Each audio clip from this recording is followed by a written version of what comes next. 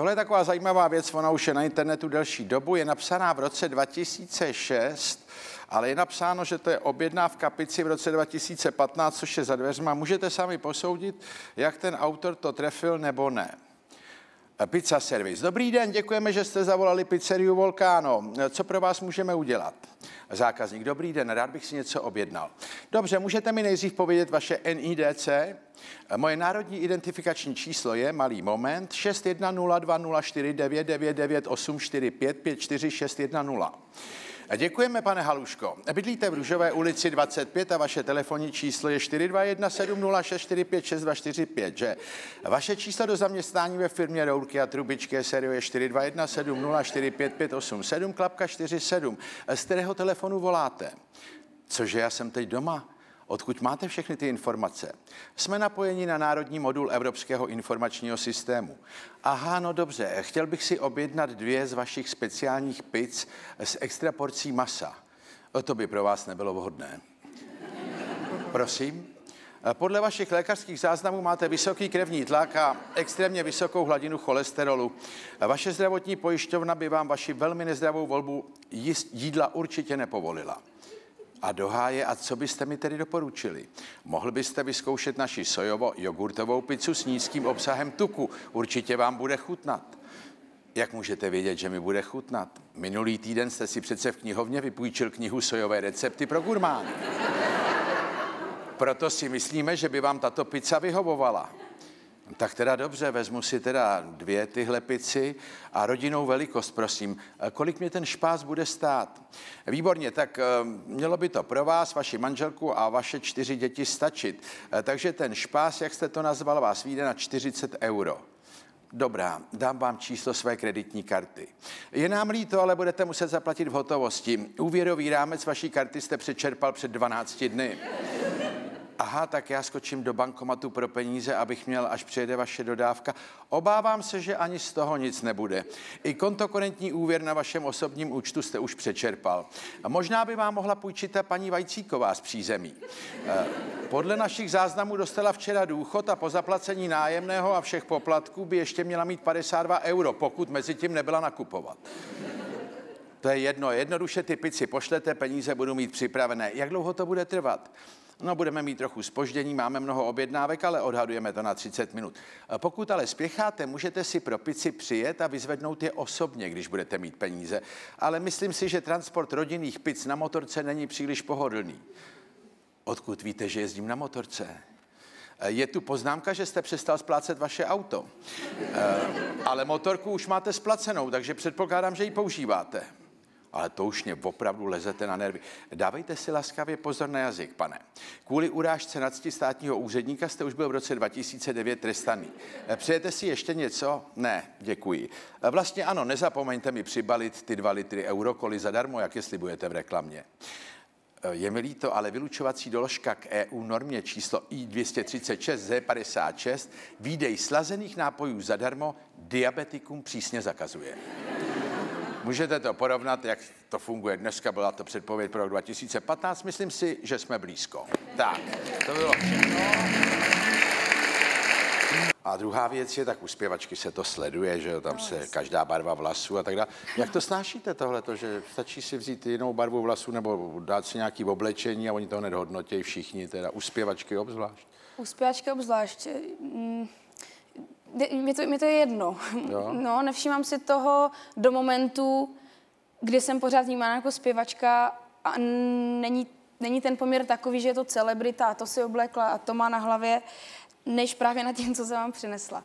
No to chápu. No a e, s frázováním je to taky problém? Velký. Jo. To chcete dělat správně. Tak v polštině nejsou délky, už jenom tohle. A pak e, v češtině, jestli se nepletu, tak je důraz na první nebo na předposlední, teďka jsem to plete. Na pr- na no tak zkuste si to říct, na ono to uslyšíte. To, je tam na, na, pr- na první? No ne, zkuste si to říct. Já ne... No dobře, no a v polštině... Matematika třeba. No. A v polštině na předposlední. No a vy chcete zpívat slovo matematika? to, to ne, to, no. Tam dám příklad. To jako, no ne, ale když tam nejsou dílky, tak v češtině, když potřebujete dlouhý tón, tak tam musíte dát. Tam můžete dát, dlou, nemůžete zpívat dlouhý tón na krátkou... No, tak si tam dáte slovo, kde máte dlouhou slabiku. No. A v polštině? V polštině to je jedno, můžete natahovat jak v angličtině právě, je to jednodušší. Jo. No ne, nemá to až takovou svobodu jak angli- angličtina, ale je to značně jednodušší. No. No a nějaký český text, ale obdobu v polštině, že byste mi kousek řekla? Jakože úplně přeložené. Ne přeložený, ale třeba zpíváte něco, nějakou písničku česky a no. pak máte polskou verzi. Taky. Ano, ano. No tak jestli byste mě řekla kousek polský verze nějaký český písničky, kterou znám. Kterou znáte, jej, tak to asi. No ne, tak řekněte kousek ty český nejdřív. řekněte začátek ty český. A Ti, pak, Ticho láka němý chlad. no, Ticho jak by celý svět. Znamená to úplně něco jiného. No ne, a to je ticho jako celý svět. Přesně tak. No tak to No ne, podobný. nedává to smysl, když to takhle řeknu. Jak to ne, dává, no tak ne, je to podobný, ale. Prostě ten námět a celková myšlenka té písničky je stejná, ale Ano. není, to, No. není to kompletní. No to je jasný, přeložený, že no. to nemůže být, no, ale mě tak rozumíte, s kým tady proberete rozdíl mezi češtinou a polštinou než s váma? No to, to, to, to je super, jako, No. že mám tuhle tu funkci. Ne funkci, tak to je přirozená součást vašeho života a taky to je ohromně zajímavý. Že? Kdyby, No. kdyby nevyšlo to zpívání, tak jsem přemýšlela nad tlumočením třeba. No. Já jsem to chtěla v, té právnické rovině, že bych byla jak tlumočení. Jo, že byste v tomto... Ale snažím se být otevřená tolerantní, samozřejmě. Jako. No ale konzerva jako, jako pak v tom soužití partnerským jste konzervativní. No spíš jde o to, že třeba, jak jste říkal, v mém věku, je mi 21, No. eh, tak lidé rádi zkouší věci a, a partnery a často si nepamatuju ne- třeba ani jejich jména a tak. Jo, takhle to já nevím, já v tomhle nejedu. Jo. Tak to tak Takhle jako zkouší, sleduju. že- zkouší věci a partnery. No a Aha. já jsem taková, že mě stačí ten jeden, abych ho chtěla mít celý život a, a No tak, tak jako, to patří k takovému ženskému romantickému ideálu. to je pravda, no. Že žena chce mít jenom jednoho partnera, no a no znám ženy, které... hledáš, najde. No a v čem jste, tak možná v tomhle nejste tak, tak jste taková tradiční. No, no tak co vám v tom brání? To můžete zkusit. Nejdřív teda na nečisto a pak teprve. Určitě, ono se většinou právě do těch divadel zkouší nějak o prázdninách, což u nás se nejvíc hraje. No není to tak vždycky. Ne? Ne. Vy o tom asi něco víte vlastně, že? No, Můžete povídat třeba, bych to, mě by to zajímalo. se můžeme sejít a já vám to řeknu. Jo. Ale ne, eh, tak můžete si to zkusit s amatérama nejdřív, že jo? nebo s kamarádama. No, no takového. tak si to zkusit nejdřív a uvidíte, jak vám to jde a pak to teprve zkusit někde předvíst, co tomu lidi řeknou. Co tomu lidi řeknou, no. A Tak tak, se zpíváním jste to dělala stejně. Jenže člověk se asi musí odprostit od toho, co ty lidi řeknou, protože jinak by nevyhověl, nemůžeme vyhovět všem. A, No všem a ne. pak neděláte nic, protože máte strach z té reakce a vlastně No ale tak uvidíte, takový základ z toho poznáte, ne? určitě. Já bych A- chtěla zkusit, zkusit hodně tak věcí. ještě. Jo, a co ještě? Třeba pojedeme akustické turné po divadlech, Mhm. mm-hmm. pak bych jednou chtěla jít s big bandem turné, mm-hmm. tak jako hudební různé, různé podoby. No dobře, tak ale to souvisí s vaším zpíváním, což je logický. A pak máte nějaký ještě ideály takovýhle, nebo touhy, teda kromě toho zkusit si herectví. Cestování, ale to, to není žádná profese asi. Prostě No ne, to nevadí, ale, no ne, ale jestli máte nějaký, protože dneska všichni běhají, že jo. jo, vypadám na to, že běhám. Jako. Já se ptám. ne. Ne, ne, ne, dneska ne. všichni běhají, všichni mají ty fit přístroje, měřejí si tlaky, převýšení. Měříte tlak? Já ne, radši ne. Ale elektronika, že jo. Ale vy jste taková zdatná v, tom, v těch elektronických médiích, v těch sociálních sítích, ne? Nemám ten pocit, jako mám jednu sociální síť, kde jsem aktivní, ale ty ne, ani neznám, ani mi to nic moc Ale neříká. Facebook nebo co máte? Facebook, no. No. A všechny ty Instagramy a jiné to vůbec Ne? ne. To nemáte ráda? Já v tom neumím dělat. a ne, mě to přijde, já mám ráda jednu tu síť, o kterou se starám, ale že bych byla virtuální člověk a žila jenom v, za prostřednictvím komunikace v těch jiných sítích, to zase já radši ty lidi uvidím na koncertě, než No to bych věnovala chápu. čas. No ne, na každý dát. Využíváte to na propagaci a tak, ne? Určitě, to určitě. No a funguje to? Já si myslím, že ano. Jo? Já si myslím, že ano. Ale tam moc nic jako nereklamuju. Prosím vás, vaši rodiče a teda bratr, sestra žijou pořád tam? Žiju pořád tam. Jo? A vy tam jezdíte za nima? Jezdím. Jo? No, tam je to krásné. tam je to krásný, že jo? No a co tomu říkají? Mají obová strach nebo se radujou? Já myslím si, že jsou rádi, že dělám něco, co mě baví a živí mě to. To má málo kdo dneska a myslím, že za to musím být hodně vděčná. A mají, mají radost a je to, je to přirozené. Já jsem vlastně, i když jsem zpívala od 12, tak jsem žila s nimi. Mm-hmm. A odstěhovala jsem se v momentě, jak jsem šla na vysokou do, do Varšavy, což většina lidí, když je studovat, tak prostě se někam odstěhuje. Takže to bylo takový přirozený, přirozený No a vy přivezete dárky nějaký?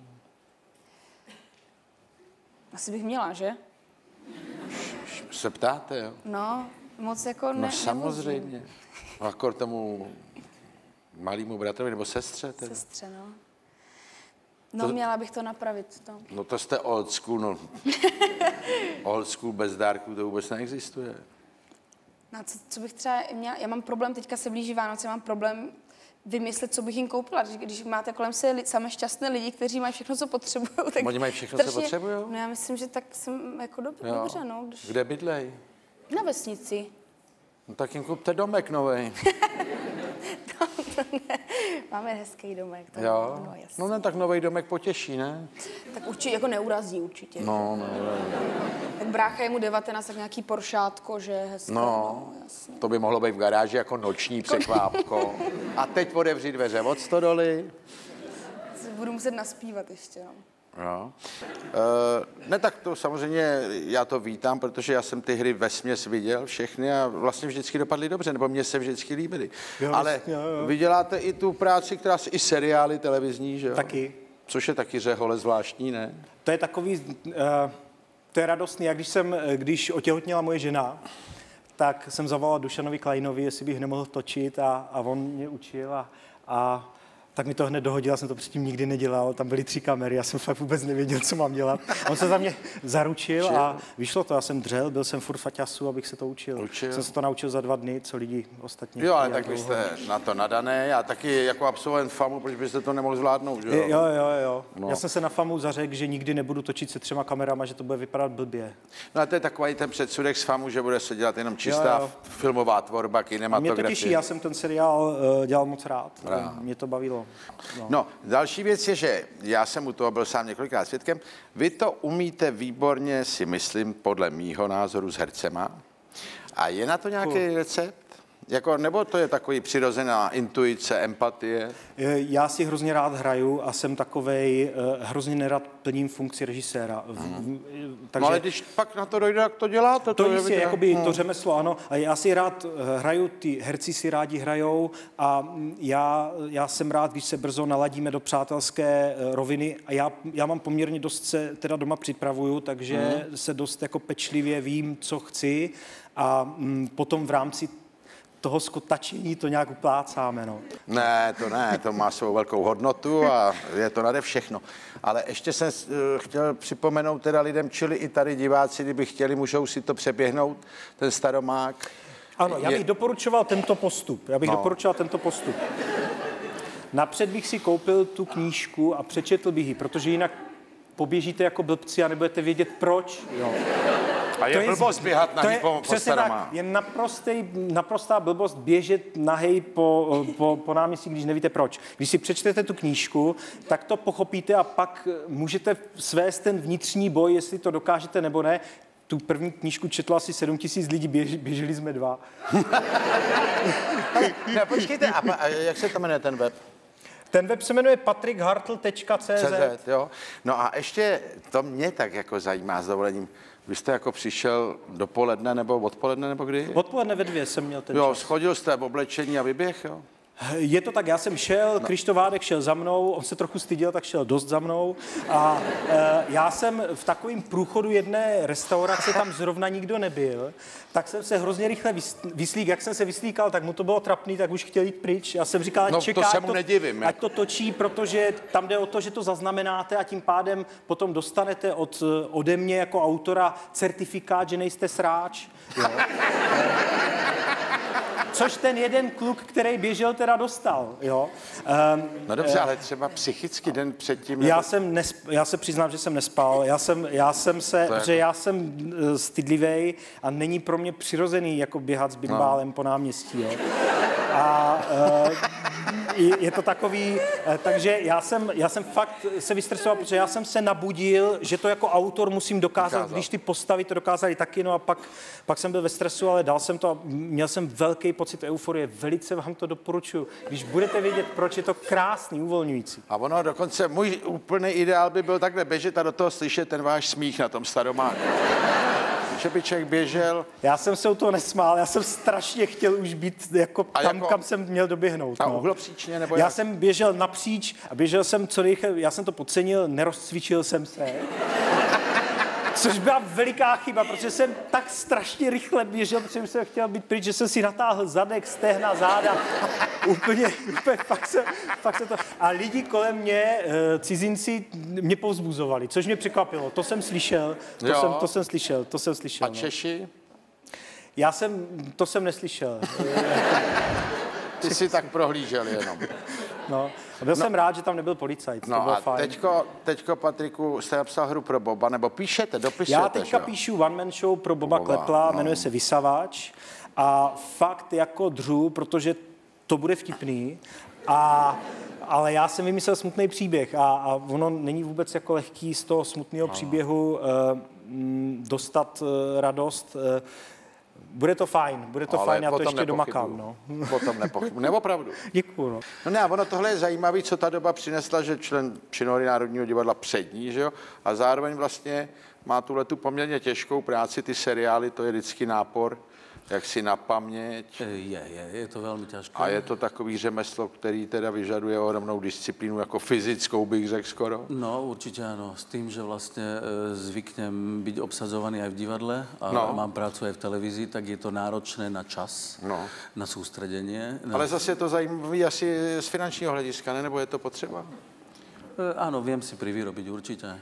No ne, že to je důležitý. Ano, ano, ano. Ano. Ale jsou herci, kteří to odmítají, že jo? Dokonce jsou taky, kteří to striktně odmítají. Striktně odmítají. Já k ním vůbec nepatrím. Ne. ne, ne, ne.